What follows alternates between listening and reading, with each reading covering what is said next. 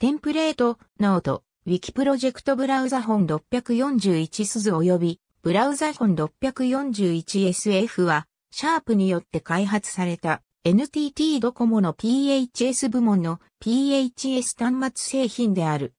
2001年2月にドコモの PHS で初めてコンパクト HTML 対応のブラウザ搭載端末として発売された。641鈴がストレートタイプで 641SF がフリップタイプになる。ブラウザについては、モペラ接続の他に、一般のインターネットサービスプロバイダに接続することができる。モペラ経由の場合は1分15円で、一般のプロバイダの場合は、昼間1分10円、夜間90秒10円で接続することができる。ドコモが提供するメニューに関しては、モペラ経由しか接続することができない。CM で i モードみたいと言っていたが、i モードには対応していない。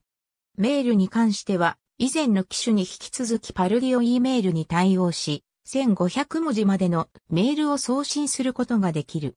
641鈴をベースとして音楽配信サービス対応のピクオーク SH712 メートルが登場している。これ以降の端末はピクウォーク等の特殊端末は除き、ブラウザ本ブランドとして発売されている。ありがとうございます。